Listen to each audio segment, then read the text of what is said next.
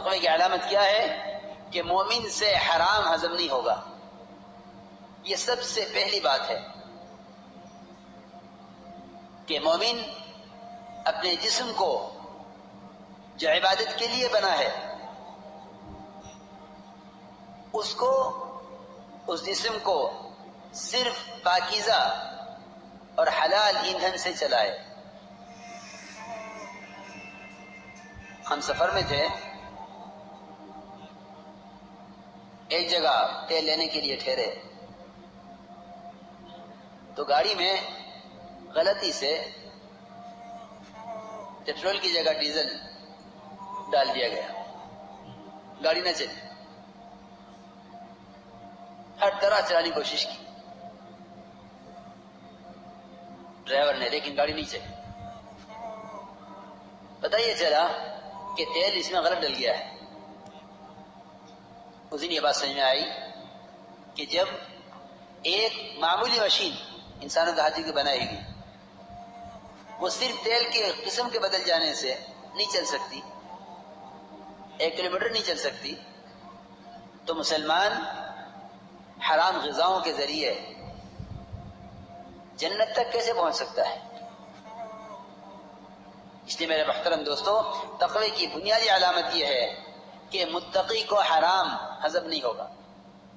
ابو بکر صدیق رضی اللہ تعالیٰ عنہ کو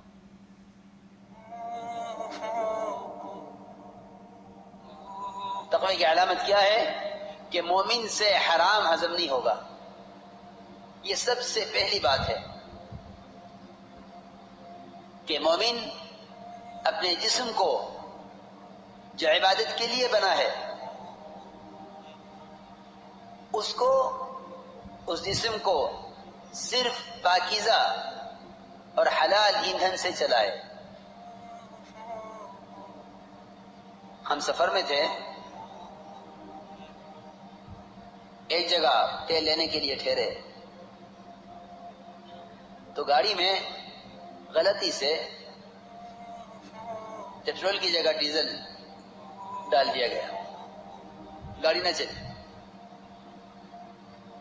ہر طرح چلانے کی کوشش کی۔ ڈرائیور نے، لیکن گاڑی نہیں چلی پتا یہ چلا کہ تیل اس میں غلط ڈل گیا ہے۔ اس دن یہ بات سمجھ میں آئی کہ جب ایک معمولی مشین انسانوں کے ہاتھی کی بنائے گی وہ صرف تیل کے قسم کے بدل جانے سے نہیں چل سکتی، ایک کلو میٹر نہیں چل سکتی، تو مسلمان حرام غذاؤں کے ذریعے جنت تک کیسے پہنچ سکتا ہے؟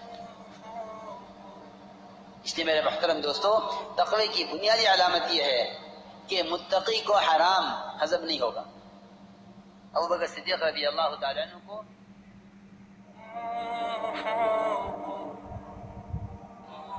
تقوی کی علامت کیا ہے؟ کہ مومن سے حرام ہضم نہیں ہوگا۔ یہ سب سے پہلی بات ہے۔